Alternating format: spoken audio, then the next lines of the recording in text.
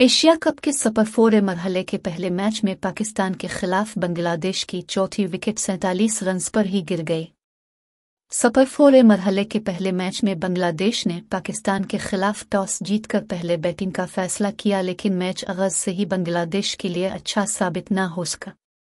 Match के दूसरे over में बांग्लादेशी ओपनर्स मेदी हसन मीराज बगैर कोई रन्स किए नसीम शाह की गेंद पर फखर जमान को कैच दे बैठे।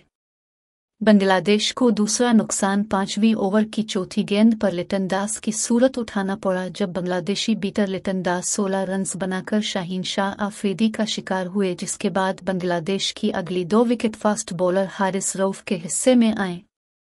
फास्ट बॉलर हारिस रऊफ ने ओपनर मोहम्मद नईम को 20 और तोहीद हरदोई को सिर्फ़ दो रन्स पर पवेलियन की राह दिखाई।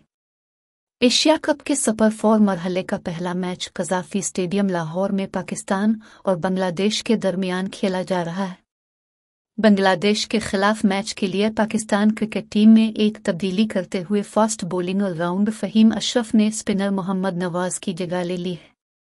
कौमी टीम में ओपनर इमामुल हक, फ़खर जमान, बाबर आज़म इफ्तार अहमद, मोहम्मद रिजवान, सलमान अली आगा, शादाब खान फ़हीम अशरफ हारिस रऊफ़ शाहीन आफरीदी और नसीम शाह शामिल हैं।